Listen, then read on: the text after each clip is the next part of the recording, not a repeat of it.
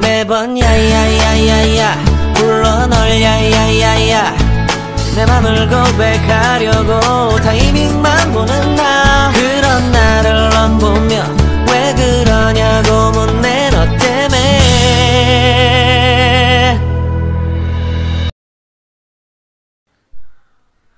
You were packing your bags, zipping all unnecessary stuff inside your bag. Not because tomorrow is your wedding and you have to shift to your husband's house, but because you're going to run away from your own wedding. You were done with keeping the stuff inside your suitcase and were now sitting on your bed looking for a text which your boyfriend might have sent you, but you got none.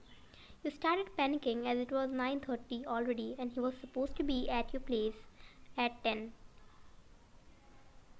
Just when you were about to keep your phone down on your bed again, your phone got a notification. You became happy thinking it was from your boyfriend, but unfortunately, it was from your best friend. You read the text, which said, Come here fast, I have something to tell you too. And your eyes widened at her text, as it was a picture of your boyfriend sitting in the club. Wasn't he supposed to be coming? Taking your overcoat, you made your way out of your room to go to the club, and since your wedding was held in the morning, all your relatives were present at your house were already asleep. So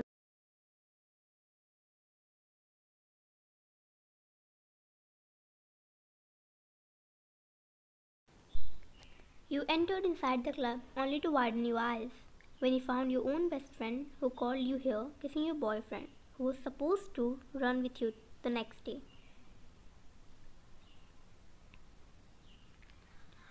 Tears welled up in your eyes. Is this what she wanted to say? You questioned yourself and made your ways towards the traitors. No, you're not gonna supposed to cry or run.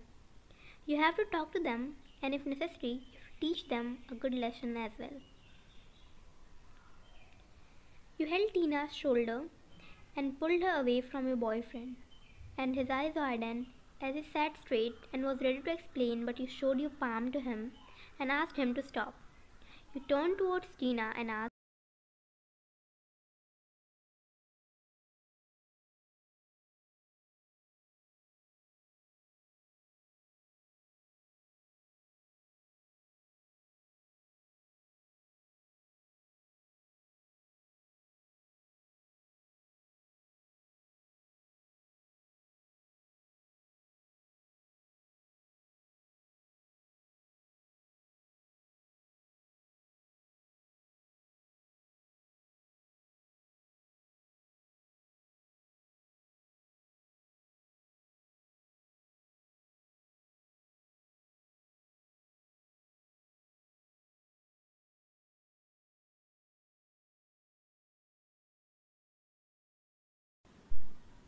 That's it.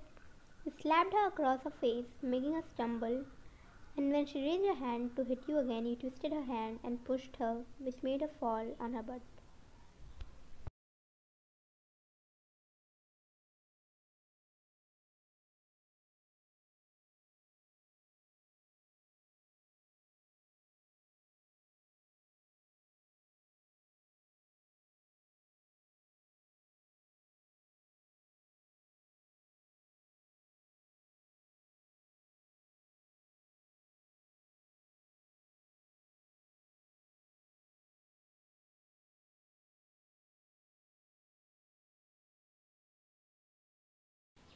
You left the place and finally let your tears out.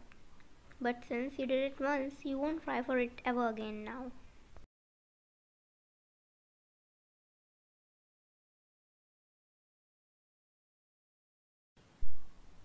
You were now ready after wearing your wedding gown. Not gonna lie, you were sad, but you were determined to forget the cheater and start your life from a new point. Before this, you did not wanted to get married because you had a boyfriend, but you always had faith in the choice of your parents. You have already met whom you are going to marry a few times in business parties or meetings. Your chain of thought broke when your dad came and smiled at you. He lifted his hand so that you could hold it, and you held it tightly while he patted your head from his another hand.